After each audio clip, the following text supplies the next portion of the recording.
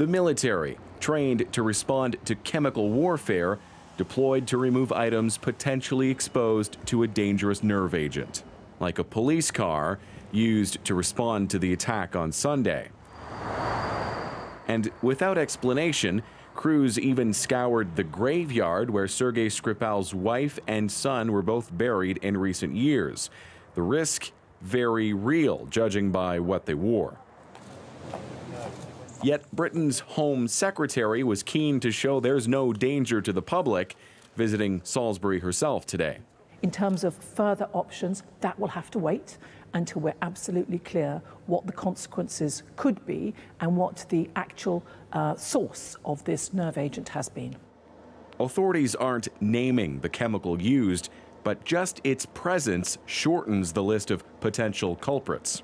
It needs a very sophisticated laboratory highly trained and experienced scientists that only really we find in sort of state-run institutions. Russia has been denying any involvement daily.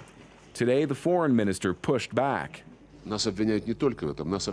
They blame us not only for this, said Sergei Lavrov, but according to our Western partners, we're guilty of everything that is wrong on this planet.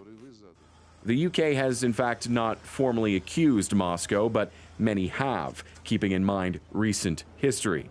Investigative journalist Heidi Blake identified 14 deaths in Britain since 2003, all potentially tied to Russians who went unpunished. The fact that they've handled this case very differently tells you that there is growing alarm at the highest levels of the British government about increasingly bold manoeuvres by Russia on British soil.